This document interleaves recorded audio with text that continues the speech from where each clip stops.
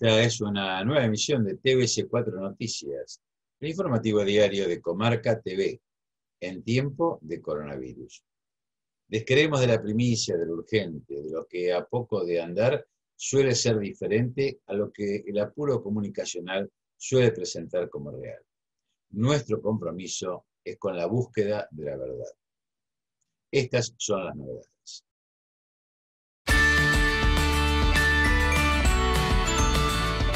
Bruselas, Bélgica.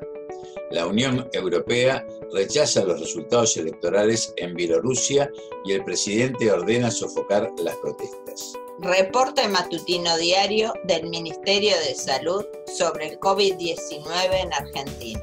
Fabiola Yáñez abogó por las mujeres rurales e indígenas en un encuentro de primeras damas con la FAO. Desde el Ministerio de Turismo ratifican que habrá temporada de verano.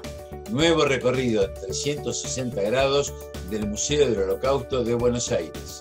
Querellantes en causas por crímenes de lesa humanidad piden retoques al proyecto de reforma judicial. Volvieron las clases presenciales en la provincia de Catamarca. Los consejos del viejo profesor para una ciencia y tecnología pueblocéntrica. El 23 de agosto de 1812 se conmemoró lo que recordamos como el éxodo Eugenio.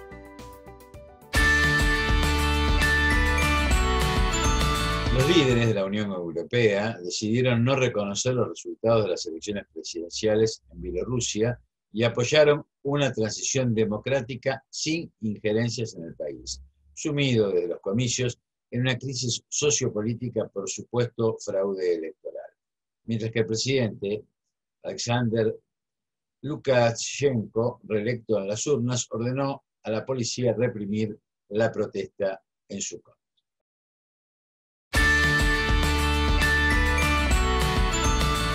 Damos paso al reporte matutino diario del Ministerio de Salud sobre el COVID-19 en Argentina.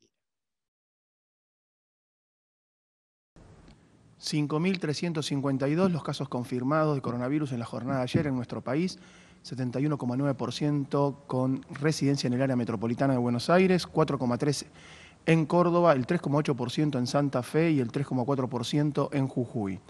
342.154 son los casos totales de coronavirus en la República Argentina, con 13 casos en nuestras Islas Malvinas tenemos una tasa de incidencia de 754 casos cada 100.000 habitantes, una mediana de edad de 38 años, el 6,4% de los casos confirmados son trabajadores de la salud.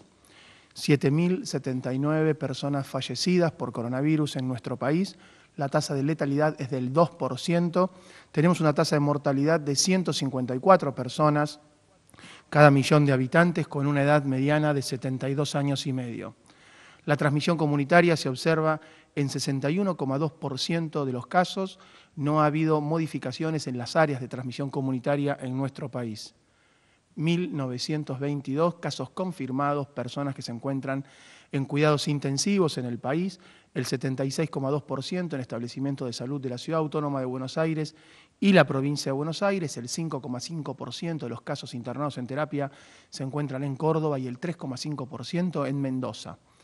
El porcentaje de ocupación de las camas de terapia intensiva por patologías COVID y no COVID se ha reducido a 56,5% a nivel nacional, 64,2% en el área metropolitana de Buenos Aires. Se ha incrementado la cantidad de recuperados en 5.389, lo que genera una cantidad total de 256.789, representando el 75% del total de los casos confirmados. En nuestro país tenemos a 15 provincias con transmisión comunitaria extendida, sostenida, en relación no solamente a inicio de brotes, sino que no han podido ser controlados, y un número importante de departamentos y de jurisdicciones que eh, están teniendo nuevos casos, están teniendo brotes todavía por conglomerados, por eh, personas que han asistido, eh, que han estado en contacto, ya sea en el ámbito laboral o social, y que se están investigando y si no se controlan, el problema, el riesgo es que sigan eh, transitando hacia la transmisión comunitaria. En cualquier lugar del país, en cualquier lugar del mundo, si aumentan los casos en forma exponencial, llega un punto en el que es difícil controlarlos. Y si se desborda el sistema de salud, es el problema que han tenido otros países que no han podido dar respuesta y ha aumentado la mortalidad en ese sentido. Por eso es clave monitorear eh, las diferentes áreas y es clave tomar decisiones puntuales, específicas, en función de la situación de cada una de las provincias y de los departamentos. La Defensoría del Pueblo, con la dirección del doctor Alejandro Amor, sí continúa trabajando y principalmente y más intensivamente a partir de la implementación del aislamiento preventivo, eh, en los trámites que frecuentemente realiza. En mi caso, en el área específica de salud, con la idea de acompañar y trabajar con la población para que pudiesen realizar sus tratamientos crónicos, poder cumplimentar los calendarios de vacunación, poder seguir con los controles necesarios. Con respecto al programa Detectar, implementado tanto sea por Nación como por la ciudad, eh, la Defensoría trabajó muy activamente en la facilitación para la coordinación entre el Estado y las organizaciones sociales elemento estratégico que nos permite llegar, encontrar y conocer cuál es el caso y que permite el éxito de ese tipo de programas. La primera dama, Fabiola Yáñez, instó a promover el poder transformador de las mujeres rurales, indígenas y afrodescendientes. Lo hizo durante su participación en el encuentro de la Alianza de Cónyuges de Jefes de Estado y Representantes, ALMA, con los representantes de la Organización de las Naciones Unidas para la Agricultura y la Alimentación, FAO.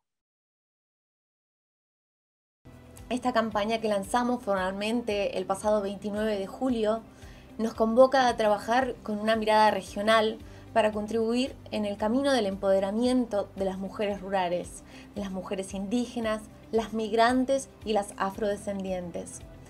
Quiero contarles que en esta quinta edición de la campaña de Mujeres Rurales, Mujeres con Derechos, estamos trabajando eh, mancomunadamente tanto con el Instituto Nacional de Tecnología Agropecuaria, INTA, que es coorganizador, como con los ministerios de Agricultura, Ganadería y Pesca, y el de las Mujeres, Géneros y Diversidad, que se creó justamente con la llegada de este gobierno. Estamos convencidas de que esta campaña tiene que ser el motor no solo que visibilice el tema, sino que ponga en la agenda pública y con la entidad que merece, porque en nuestro país queremos atender las situaciones particulares, pero también tener una mirada por el potencial de las mujeres rurales.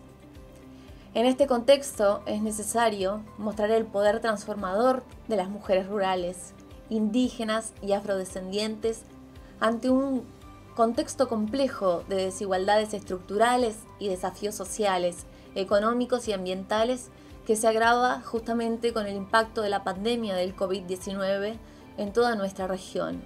Yo soy del interior de la Argentina, de Villa Regina, provincia de Río Negro.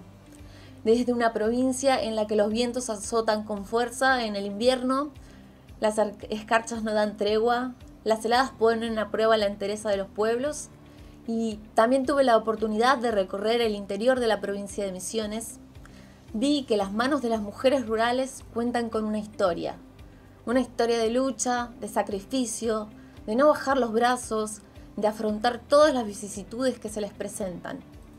Y siempre, pero siempre vi que las mujeres están ahí, firmes, cuidando no solo a su familia, sino los cultivos y nuestra tierra. Desde el Ministerio de Turismo ratificaron que se podrá llevar adelante la temporada de verano en el país y que, para ello, se deberán aplicar diversos protocolos elaborados para la gastronomía, hotelería y agencias de viajes. Nosotros queremos trabajar de una manera presente, el Estado está presente, trabajando de manera articulada con el Ministerio de Salud a través de la implementación de distintos protocolos de toda la cadena de valor del turismo.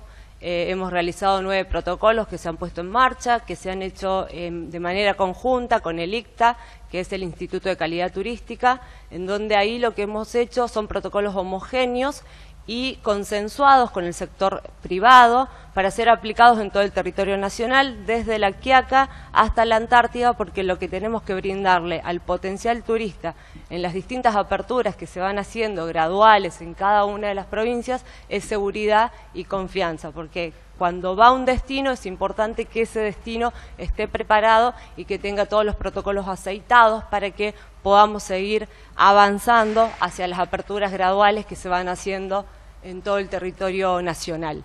Estos protocolos que hemos realizado son protocolos en gastronomía, en todo lo que es hotelería, eh, agencias de viaje, enoturismo, turismo rural, turismo de reuniones, para que justamente a la hora de poder este, aplicarse eh, sean realmente eh, brinden seguridad a los que vayan a, a, tener este turismo en las distintas provincias. Poder tener temporada de verano, que la ratificamos desde el gobierno porque estamos trabajando de manera articulada con todas las provincias a través del Consejo Federal de Turismo y con el sector privado para que podamos en, el verano poder estar abriendo la actividad turística en todo el país.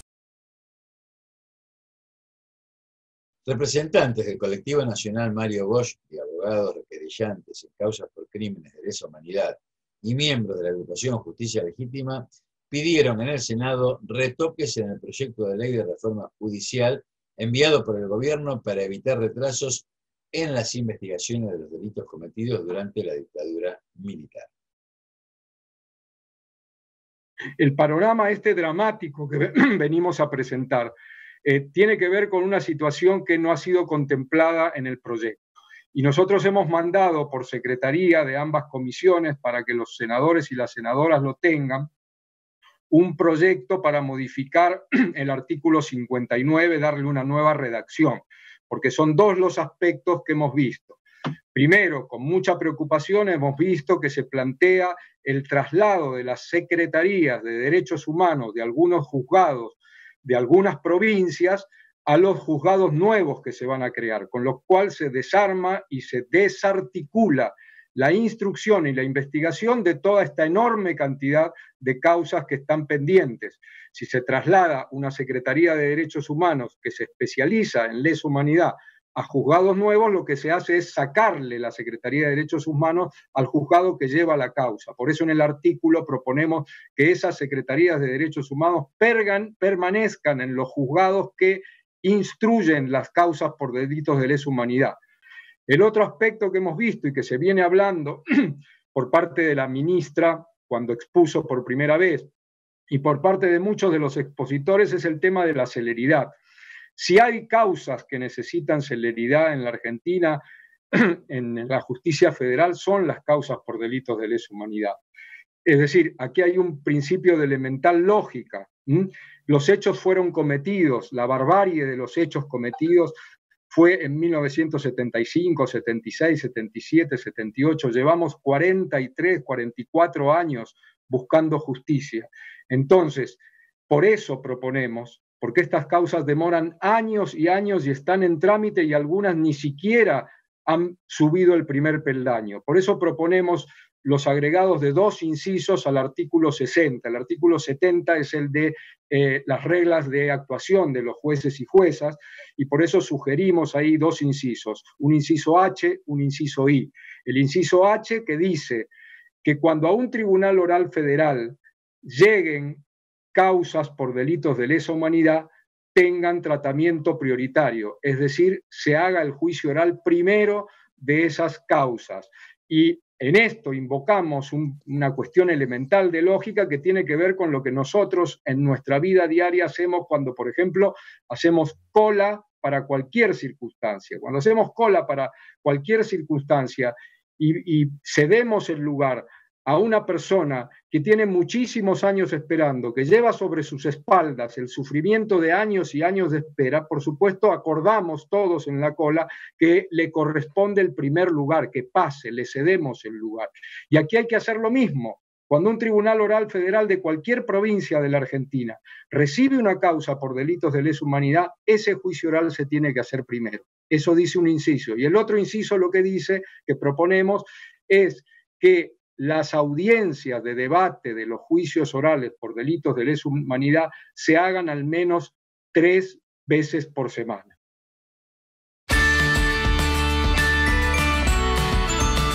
Museo del Holocausto de Buenos Aires lanza un recorrido virtual e interactivo en 360 grados, autónomo o guiado, que permite descubrir en detalle los más de 1.500 metros cuadrados de su exhibición permanente dedicada a la historia de los judíos europeos y la Shoah.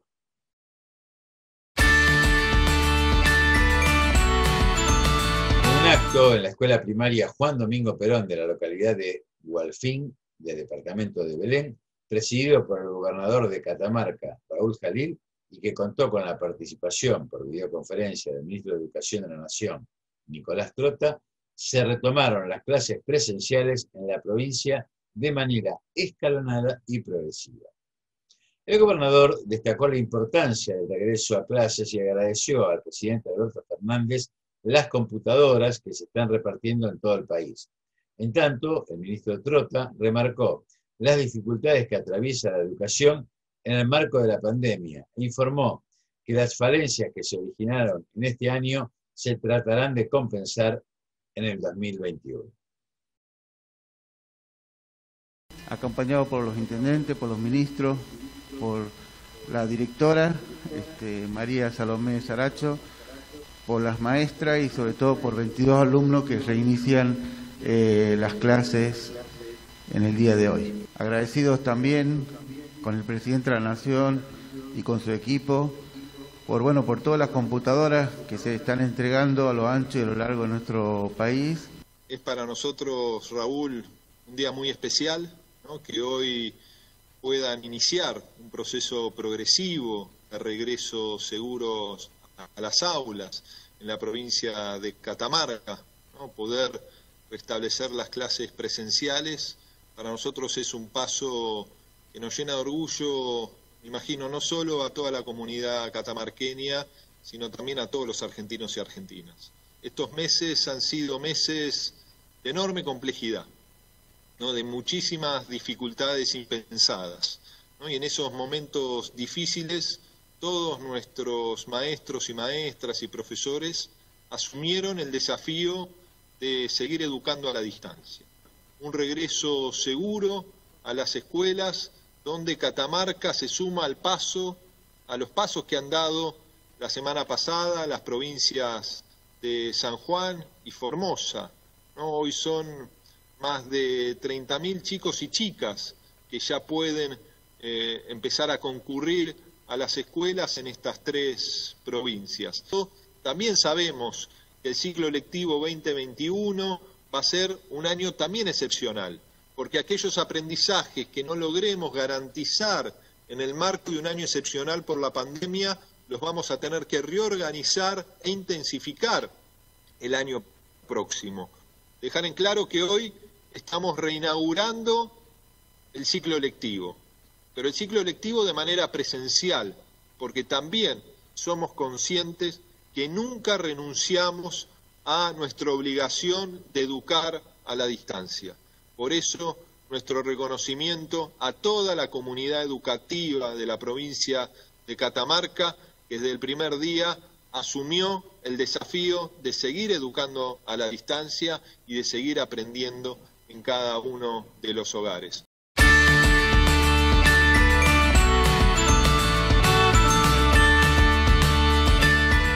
Los argentinos hace algo más de cuatro décadas vivimos un antiproyecto que nos ha impuesto un modelo especulativo, financiero, consumista, cuyo enemigo central es el trabajo y el trabajador, ocupado, desocupado y jubilado. Construir un nuevo proyecto de vida se puede, se debe. Como aporte venimos compartiendo diariamente en este noticiero algunos ejes que ha formulado el filósofo argentino Gustavo Ciriliano, presentados de modo simple, sin pretensión técnica, para que todos y no unos pocos iluminados puedan participar, discutirlos y aportar propuestas.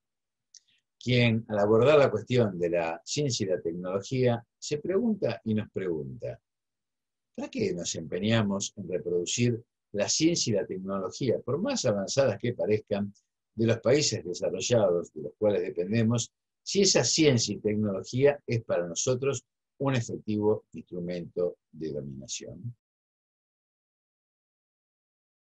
Se llaman universales del imperio a las verdades que se quieren aplicar y en todo el mundo mediante la imposición tecnológica, la penetración de las multinacionales, la obsecuencia de los científicos dependientes, la beatería, etc. No todos, sin embargo, los universales del imperio son negativos en sí mismos.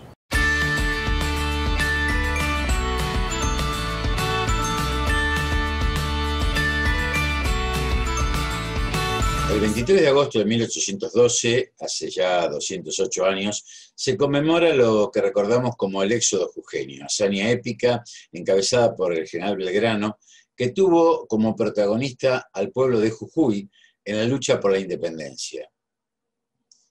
Hecho que hace a esa identidad argentina que demuestra la fuerza de un pueblo cuando unido enfrenta la adversidad y al enemigo.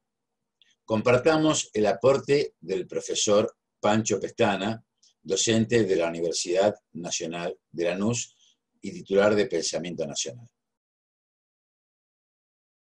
Reflexionar brevemente sobre el éxodo jujeño, que es un acontecimiento que sucede en agosto de 1812, y es una gran decisión de Belgrano de retirarse, retirar el ejército del norte, hacia eh, Tucumán, pero con la particularidad de generar lo que en técnica o táctica militar se llama tierra arrasada, es decir, eh, retirar el ejército, pero además retirar prácticamente toda la población de Jujuy y de Salta, llevarla hacia Tucumán y dejar tierra arrasada para que los eh, realistas no pudieran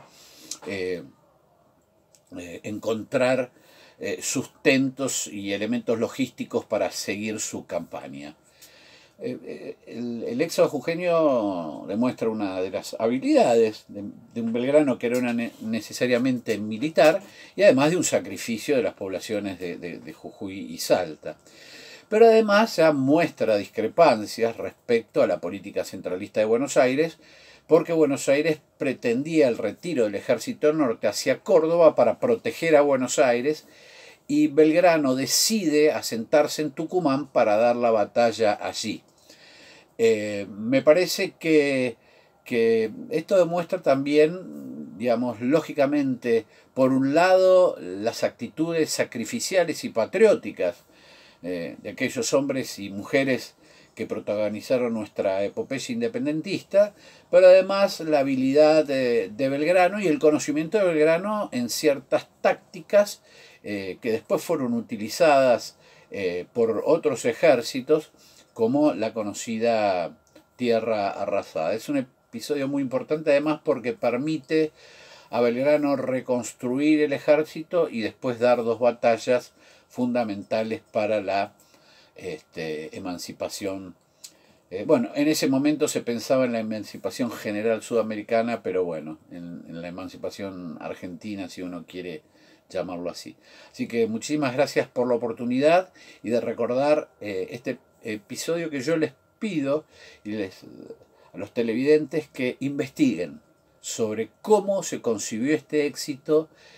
Eh, militar, porque fue un éxito militar, cómo se consiguió persuadir a la población para que abandonara, sus lugares históricos y cómo esa persuasión eh, belgraniana permitió después mm, reconstruir un ejército eficaz para neutralizar el avance realista en el norte del país. Hoy la pandemia lo demuestra, todos tenemos que ocuparnos de sostener la vida, la propia y la ajena respetando los consejos sanitarios para evitar que la pandemia se expanda. El bien común es lo que entre todos debemos conquistar, lo que debemos realizar. Lograrlo reclama fidelidad, cuando bajo cualquier excusa se atenta contra el bienestar general, poniendo en peligro la salud pública, se traicionan las necesidades del pueblo. La pandemia que al mundo afecta no se afronta como una cuestión de libertad individual, es un tema de hermandad, COVID-19 es Take away, como se puso de moda decir, en criollo es para llevar. No te confundas, no te dejes engañar, no lo vayas a buscar. No lo lleves a tu vida, a tu casa, a tu edificio, a tus vecinos, a tus seres queridos. Cuídate, cuídame, cuídeme.